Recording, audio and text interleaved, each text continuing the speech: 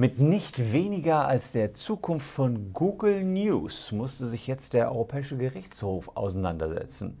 Ob ihr künftig auch noch bei Google die aktuellen News der Tageszeitungen findet, worum es überhaupt in dem Urteil des EuGH ging und was die Zukunft der Tageszeitungen und vielleicht auch von Google News ist, erfahrt ihr in diesem Video.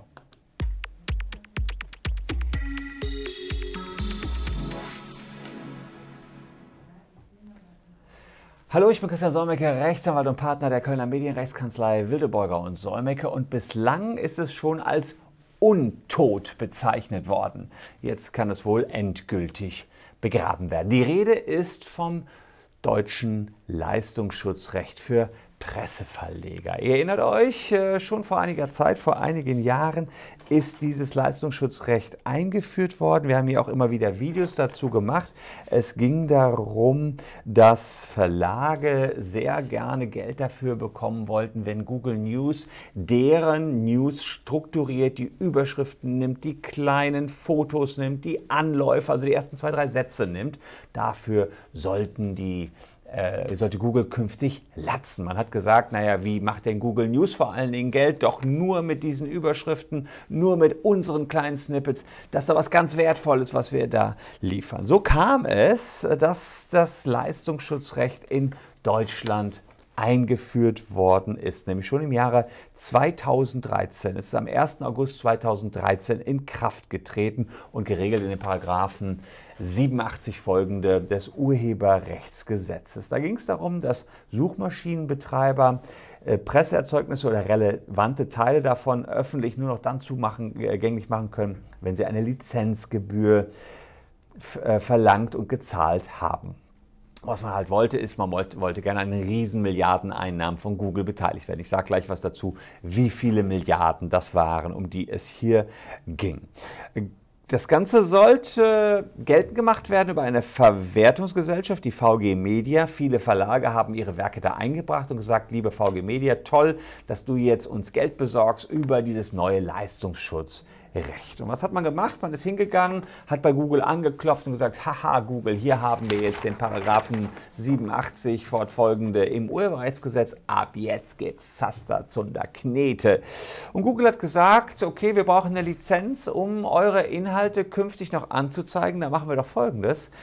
Wir möchten gerne diese Lizenz haben. Preis setzen wir mal bei 0 Euro an. Also Google hat gesagt, gebt uns die Lizenz, wir wissen, wir brauchen sie, aber wir zahlen nichts dafür.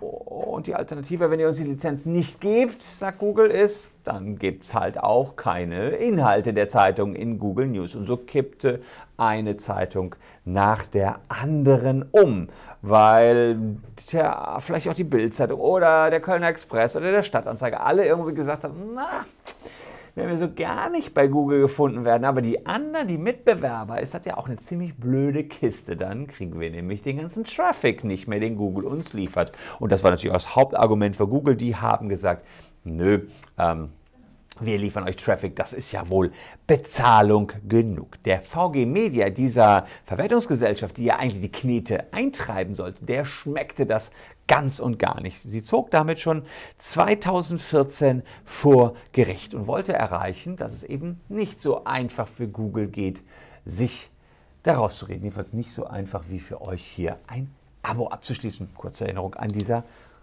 Stelle, falls euch das Video gefällt.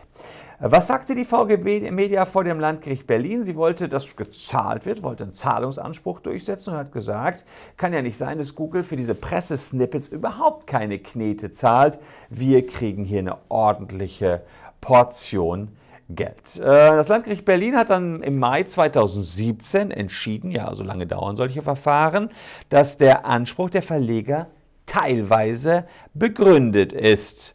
Ähm, allerdings zweifelten die Berliner Richter daran, ob sich die VG Media überhaupt auf die deutschen Regelungen beziehen kann, weil man gesagt hat, ja, wir haben hier eine Änderung unseres deutschen Urheberrechtsschutzgesetzes, aber solche Änderungen hätte der Staat Deutschland, sagen die Berliner Richter, doch gar nicht alleine machen können. Die hätten doch vorher mal das Ganze der EU-Kommission äh, vorlegen müssen. Ist da vielleicht ein Formfehler gemacht worden, als man dieses viel beworbene Leistungsschutzrecht in Deutschland eingeführt hat? Und jetzt kommt der Kracher.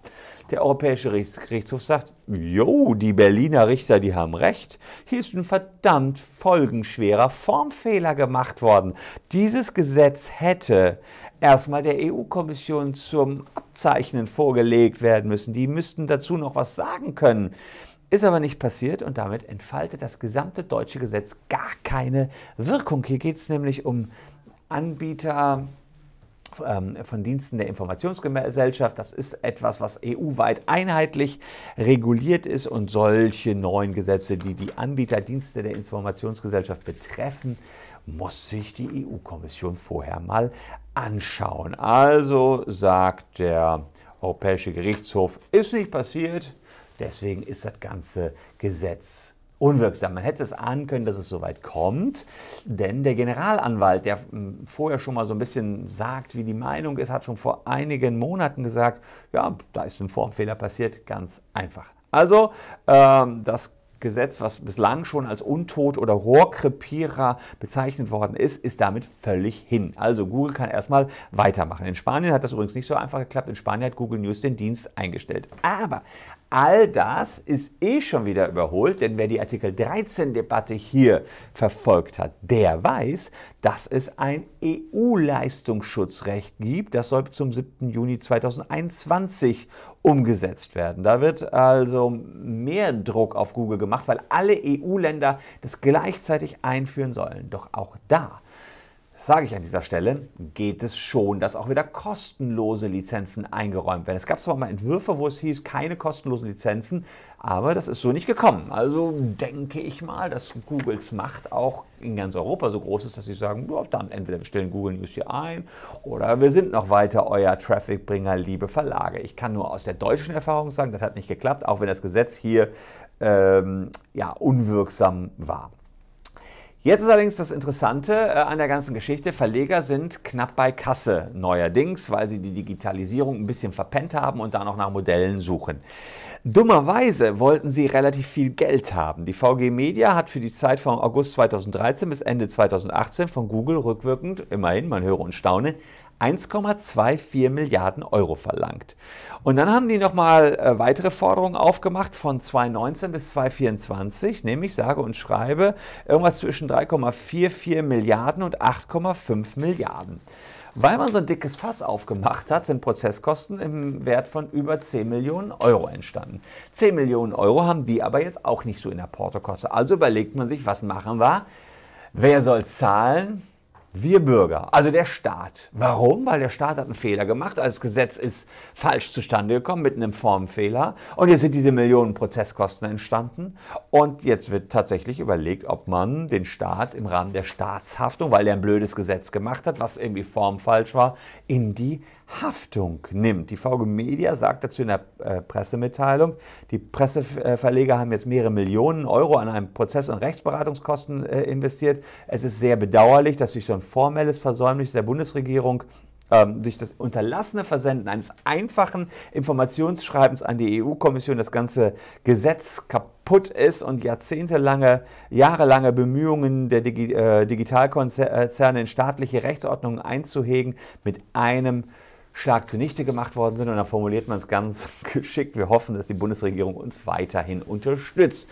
Damit meinen die uns weiterhin ja, Knete gibt vielleicht für die Prozesskosten. Unterstützen könnt ihr übrigens diesen Kanal hier durch ein Abo würde mich tierisch freuen. Ja, das Leistungsschutzrecht in Deutschland ist erstmal dahin. Google News wird es hier noch eine ganze Ecke weiter so geben. Ihr könnt eure Lieblingsrecherche-Suchmaschine auch weiterhin nutzen. Wie es dann 2021 aussieht, das wird sich zeigen. Aber wir wären nicht der Kanzleikanal WBS, wenn wir nicht auch bis 2021 an der Geschichte hier dranbleiben würden. Und ihr könnt auch dranbleiben, indem ihr ein Abo da lasst. Diskutiert fleißig unten in den Kommentaren rund ums Thema Leistungsschutzrecht. Wir sehen uns hier morgen schon wieder. Danke, dass ihr dabei wart. Tschüss und bis dahin.